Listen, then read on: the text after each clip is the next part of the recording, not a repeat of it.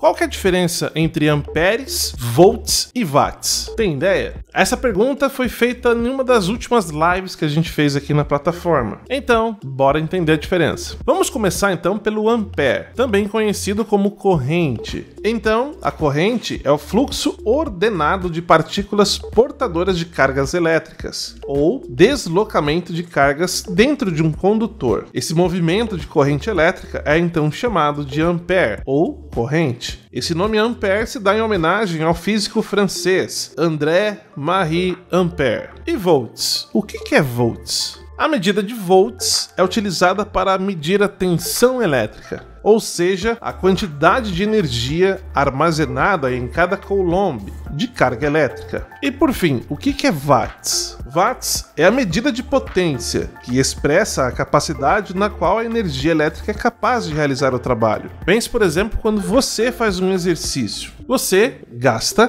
calorias correto? Com nossos equipamentos elétricos em nossas casas é a mesma coisa. E para medir esse gasto energético que os nossos eletrodomésticos gastam, consomem, utiliza-se essa medida em watts.